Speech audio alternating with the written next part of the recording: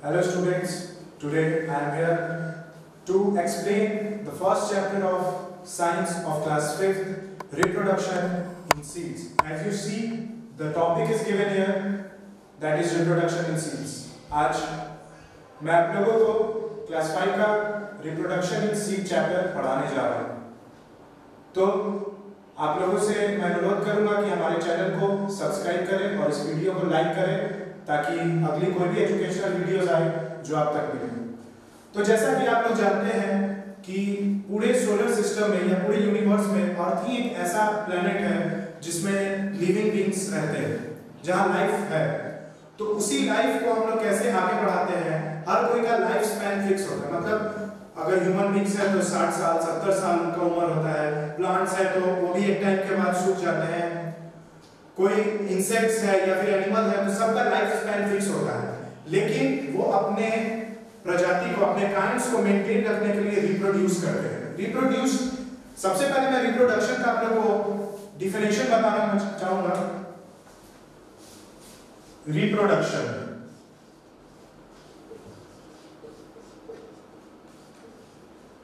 This is a process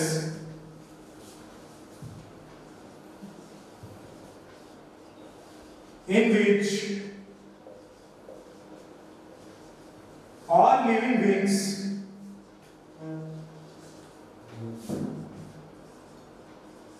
Produce their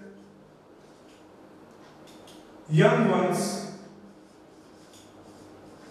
of their own kinds.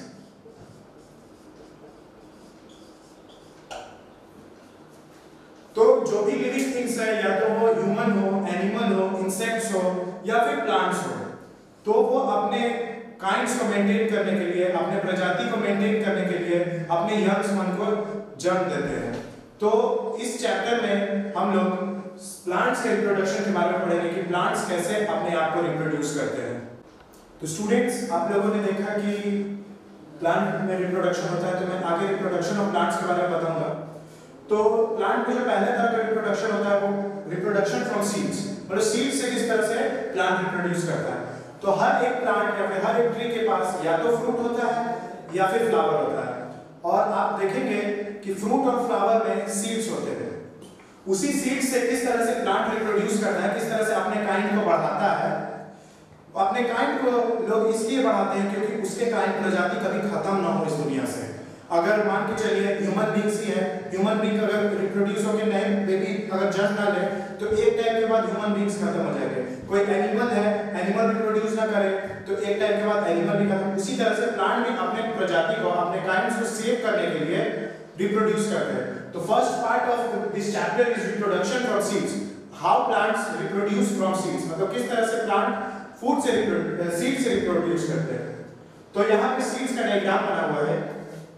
Seeds का ये जो outer covering है, इसको हम लोग बोलते हैं सीड कोट सीड कोट का काम ये रहता है कि वो सीड को किस तरह से सेव करता है। जैसे जब सीड्स फ्रूट और फ्रूट्स और फ्लावर्स में होते हैं तो या तो जानवर या फिर कोई आदमी उसे खा जाते हैं, या फिर सीड्स रेन या फिर विंड की वजह से बर्बाद हो जाते हैं। लेकिन कुछ सीड्स जो बचते हैं, उसी से प्लांट रिप्रोड्यूस करता है प्लांट जर्मिनेट करता है। तो सबसे पहले मैं यहाँ स्ट्रक्चर बनाया हुआ हूँ सीड्स का।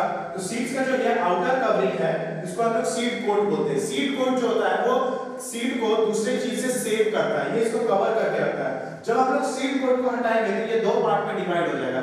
जैसे आप लोगों ने बीन्स को देखा होगा, जिसको चना बोलते हैं, चना का जो कवरिंग अगर हम लोग उसको हटाएँगे तो वो दो पार्ट में डिवाइड हो जाता है। तो इस दो पार्ट को, ये दो पार्ट जो है, इसको हम लोग बोलते हैं कॉटिलेडर और कॉटिलेडर में ही इंद्रियों से जो फ़ूड होता है, वो स्टोर होता है। फ़ूड जो भी स्टोर होगा सीड के पास, वो कॉटिलेडर में होता है। ठीक है? उसके बाद सीड से यंग प्लांट्स जर्मिनेट करते हैं। जैसा कि आप यहाँ डायग्राम में देखा है यंग प्लांट जर्मिनेट करते हैं।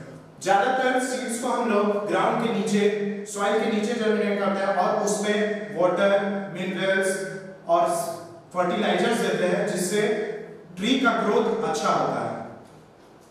तो सबसे पहले जो ये प्रोसेस होता है, हम लोग सीड को जर्मिनेट करते हैं। उसके बाद जो इससे यंग प्लांट निकलते हैं, जो छोटे प्लांट्स निकलते हैं, उसको हम लोग सीडलिंग बोलते हैं। क्या बोलते हैं? सीडलिंग तो आगे हम लोग सीडलिंग के बारे में पढ़ते हैं। सीडलिंग का डेफिनेशन बताऊँगा मैं।